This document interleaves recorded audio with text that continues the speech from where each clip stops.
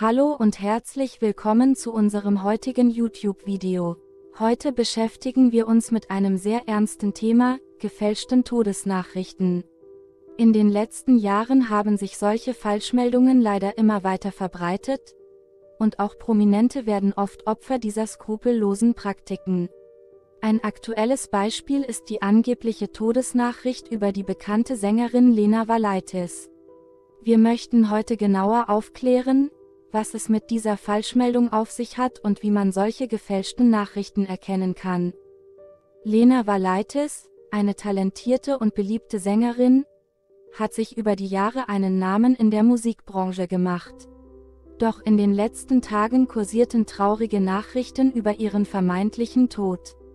Doch wie sich herausstellte, handelte es sich dabei um eine gefälschte Todesnachricht. Lena Valaitis ist wohlauf und hat diesen Vorfall bereits öffentlich dementiert. Doch warum werden solche gefälschten Todesnachrichten überhaupt verbreitet? Oftmals stecken dahinter skrupellose Menschen, die aus verschiedenen Gründen Aufmerksamkeit erlangen möchten. Diese Falschmeldungen können sich schnell in den sozialen Medien verbreiten und viele Menschen in Sorge versetzen. Es ist wichtig, solche Nachrichten zu hinterfragen und zu überprüfen, bevor man sie weiter verbreitet. Nun stellt sich die Frage, wie man gefälschte Todesnachrichten erkennen kann.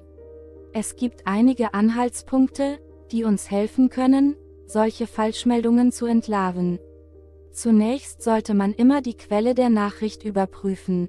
Sind seriöse Medien oder vertrauenswürdige Personen involviert? Oftmals werden gefälschte Todesnachrichten von unbekannten oder unseriösen Quellen verbreitet. Des Weiteren ist es wichtig, auf den Inhalt der Nachricht zu achten.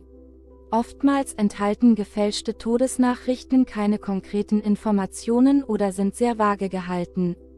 Auch die Art und Weise, wie die Nachricht verbreitet wird, kann ein Indiz für ihre Glaubwürdigkeit sein.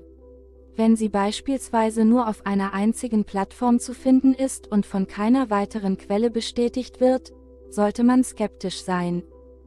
Um gefälschte Todesnachrichten zu stoppen, ist es wichtig, verantwortungsbewusst mit solchen Meldungen umzugehen.